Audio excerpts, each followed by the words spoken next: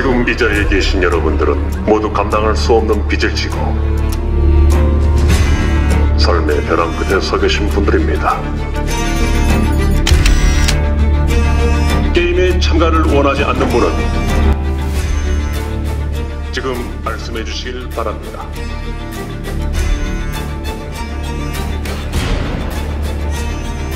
무궁화 꽃이 피었습니다.